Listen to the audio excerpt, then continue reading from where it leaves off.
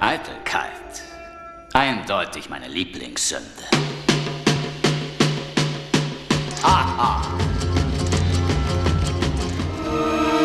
Für wen trägst du eigentlich diese schweren Steine durch die Gegend? Für Gott? Ist es das? Gott? Dann pass mal gut auf. Ich gebe dir jetzt mal ein paar Insider-Informationen über Gott. Gott sieht gerne zu. Er ist ein Voyeur. Denk mal darüber nach.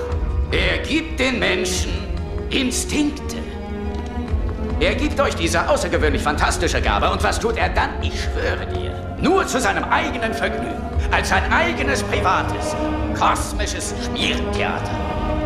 Verändert er die Regeln, dreht sie einfach um. Der größte Beschiss aller Zeiten, Kevin. Gucken, aber nicht anfassen. Anfassen, aber nicht kosten. Kosten, aber nicht runterschlucken. Und während ihr verzweifelt von einem Fuß auf den anderen springt, was tut er da? Er lacht sich seinen kranken, verfluchten Arsch ab. Er ist ein Spießer. Er ist ein Sadist. Er lässt euch allein hier unten so etwas verehren? Niemals. Ich habe hier auf der Erde von Anfang an meine Finger im Spiel. Ich habe alle Empfindungen genährt und gefördert, zu denen der Mensch je inspiriert worden ist. Ich zeigte Interesse für seine Wünsche und ich habe ihn niemals verurteilt. Wieso? Weil ich ihn niemals zurückgewiesen habe, obwohl er all diese Schwächen und Fehler hat. Ich bin ein Fan der Menschheit. Ich bin Humanist. Vielleicht ja sogar der letzte Humanist.